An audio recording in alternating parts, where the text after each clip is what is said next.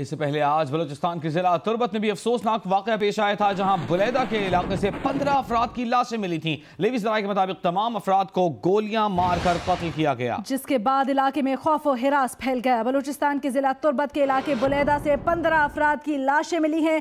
Levy ذرائع کے مطابق تمام افراد کو گولیاں مار کر قتل کیا گیا۔ علاقے میں خوف و حراس پھیل گیا۔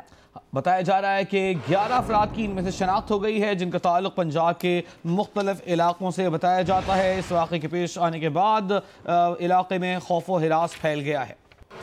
لیوی ذرائع کے مطابق تربت کے علاقہ بلیدہ کے قریب سے ملنے والی پندرہ میں سے گیارہ افراد کی لاشوں کی شناخت ہو گئی ہے۔ تمام افراد کو فائرنگ کر کے قتل کیا گیا تھا۔ مرنے والوں کا تعلق پنجاب کے علاقوں منڈی بہاؤدین وزیر آباد گجراوالا گجرات، سیالکوٹ سے بتایا جاتا ہے۔ مرنے والوں کی شناخت محمد حسین، ذوالفقار، خرم شہزاد، غلام ربانی، ظفر زاہد اظہر وقاس سیف اللہ، محمد الیاس، عبدالغفور، طیب اور احسن رضا کے ناموں سے ہوئی ہے، جبکہ دیگر چار افراد کی لاشوں کی تاحال شناخت نہیں ہو سکی۔